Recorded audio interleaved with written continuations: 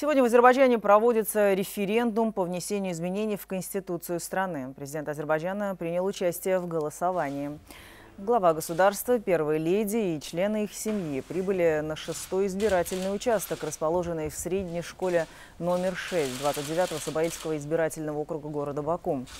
За этим моментом наблюдали представители органов печати и телеканалов республики и зарубежных стран.